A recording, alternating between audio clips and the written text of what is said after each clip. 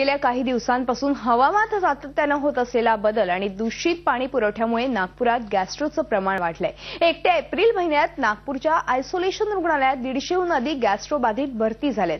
त्यामुळे ह्या वातावरणात बाहेरचं खाणं टाळण्याचा सल्ला डॉक्टर देत आहेत. नागपूरच्या जरीपटका भागात राहणाऱ्या या महिलेची प्रकृती अचानक बिघडली आहे गॅस्ट्रोची लागण झाल्याच्या शक्यतेनं शांता खंडाते नावाच्या या वृद्ध महिलेला त्वरित हॉस्पिटलमध्ये दाखल करण्यात आलंय. मेडिकल चेकअप झाल्यानंतर या महिलेला गॅस्ट्रोची लागण झाल्याचं निष्पन्न झालंय.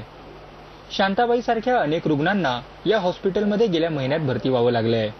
जानेवारीत एकोणनव्वद फेब्रुवारीत एकशे दहा मार्चमध्ये एकशे आठ आणि एप्रिल महिन्यात एकशे चार रुग्णांना हॉस्पिटलमध्ये भरती करण्यात आलंय.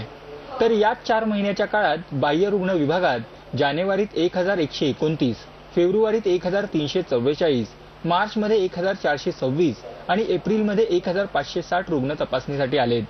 सहा वाजतापासून झाल्या उलट्या संडास. असं म्हणजे बसणंच नाही होय, उभंही नाही राहणं होय बसणंही नाही होय. सहा वाजतापासून तर सात वाजेपर्यंत.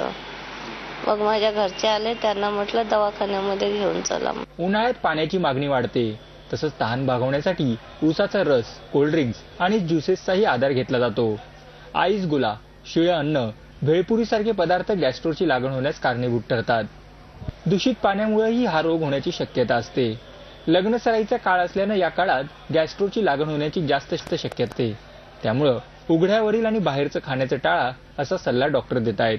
पाणी व्यवस्थिशीर असलं तर काही होत नाही परंतु जर पाणी व्यवस्थिशीर नसलं तर त्याच्यामुळे परिणाम होण्याची शक्यता असते. तसेच नागरिकांनी म्हणजे थोडंसं सांभाळून घ्यावं की शिडे अन्न खाऊ नये सडकी फळे खाऊ नये उघडे पदार्थ असले तर ते खाण्याचे टाळावे. पाणी जर थोडं कुठलं असलं तर उकडून थंड करून पाणी पिलं तर योग्य असते. गॅस्ट्रोच्या शक्यतेमुळे नागपूर पालिकेनं सर्वच झोन ऑफिसमध्ये प्राथमिक व्यवस्था केली आहे मात्र यासोबत दूषित पाणी पुरवठ्यावर नियंत्रण आणल्यास गॅस्ट्रोच्या रुग्णांची संख्या कमी होण्यास मदत होईल. Akhilesh Halwe Zee media Nagpur. Zee चोवीस तास रहा एक पाऊल पुढे.